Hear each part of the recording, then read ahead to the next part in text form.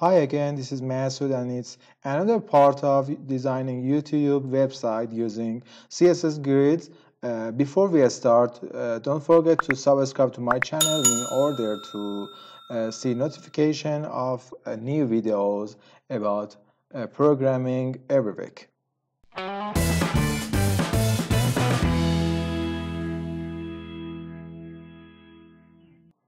Uh, in this episode, we want to implement the left sidebar of YouTube website. As you can see here, we have some icons and text and links to the several pages of uh, YouTube website. We need to implement this and it must be responsive. As you can see, we have another uh, sidebar, the small one that uh, opens when the width of the page is lower than a specific value and we also have some animations on it that we will uh, work on them in uh, next uh, episodes. Uh, so let's edit uh, this sidebar to our last project. I have added all the necessary codes of the sidebar section inside our HTML5 before and currently we don't have any slide for them so as you can see they are not showing well so we need to write uh, some css rules for them to be the same as the youtube sidebar i need to define a display attribute for the wrapper and make it a grid system. So wrapper display should be grid and also I need to use grid template areas to define how many sections uh, does my website have and what are the name of them. So I need header header header and another header. It means that all four columns should be for the header part of my website and all will be one uh, column actually and also I need sidebar videos videos videos. And in the next row we don't have any header here and we just will have a sidebar in the left side and the another column will be for the videos. So uh, I need also define uh, each column size. So grid template uh, columns.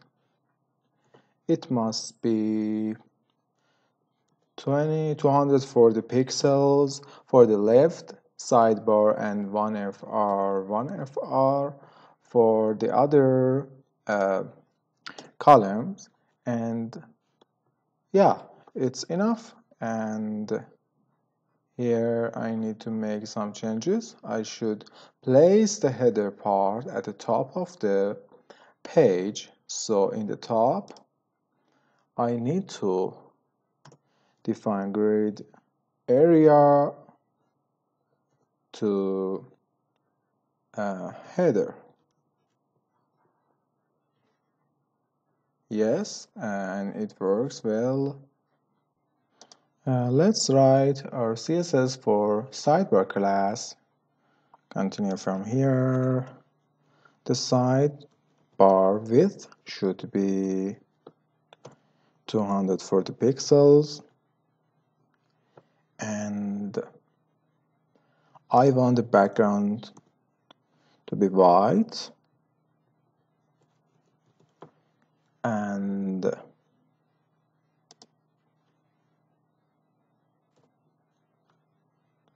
the color should be black. Also I need to define some CSS rules for uh, the children. Here I got a UL another UL for I guess for every part of this this is this is one UL and this is another UL another UL so I need to define sidebar ul li and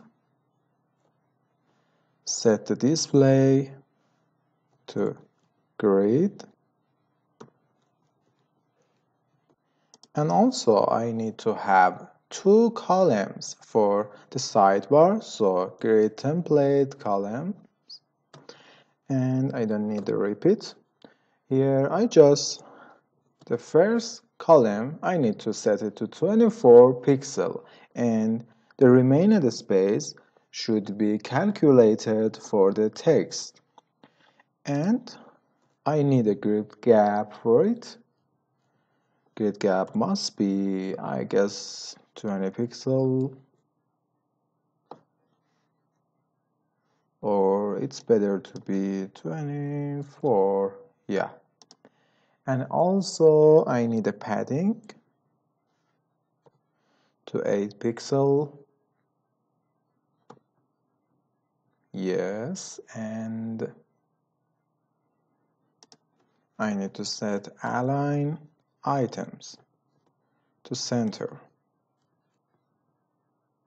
as you can see when I'm using align center it's mean it means that I'm aligning the these tags vertically with the icon.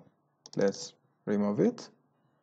And you can see that they are not aligned together so I should use align items here to make them centered. Also I need padding for the LI element it must be from top and bottom 20, 10 pixels and 23 pixels for uh, sides. Yeah as you can see it's getting near to this. And we also need these lines between each UL so write a CSS rule for our ULs and border bottom. Must be one pixel solid RGBA and 0, 0, 0 and also. I set it to be a, a little bit transparent. Yeah it's so nice. Also I need a padding here to be better from just top and bottom I don't need any padding for the sides. Okay here I have a SVG and a title and here I have some titles I need to set a style for them. Sidebar title. Must be at first uppercase. So text transform uppercase. Yes and also I need a padding for the left side 18 pixels. Yes and I need another padding for the top. Must be 10 pixels. Sorry. And I need to set display to the block for the paddings to be applied yeah and what else I need? Uh, let's change the color a little bit. So color RGBA and 7 yeah. Now they are really better. Let's make them a little bold. So I should use text uh, wait. Oh sorry it must be font weight to 600 yeah. It's really same as the original one and it looks really really good. I need to change our cursor to the pointer. What's the problem? Oh sorry. I should put it here. Yeah. Also I need when I'm moving mouse on them I need to make a little background for them. So sidebar li hover and set the background color for it. It must be RGBA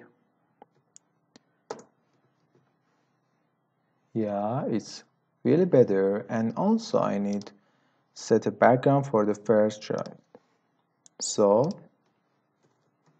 sidebar again. Uh, UL first of type. The first UL only needs to have background color. As you can see the others uh, don't have any background color. So uh, I should use first of type. It means the first UL in the sidebar and also the first LI in the first uh, UL first child. And the background should be same as this one. Okay. It works properly and finally I need to make a positive uh, value of these icons. So again sidebar ULLI SVG tag should be opacity I'm using a variable that I defined before icon opacity so as you can see it's it looks as we expected like the original site and uh, this sidebar now is good but we also need to have some uh, responsive functionality for them. For example to have some tran transitions and change the sidebar based on the screen width so be with us in the next episodes uh, to teach you how easily you can use uh, JavaScript to have this kind of uh, uh, toggling the sidebar and don't forget to subscribe to my channel in order to get notified whenever the new episode, episode releases. out. Thank you guys for watching. Bye bye to next video.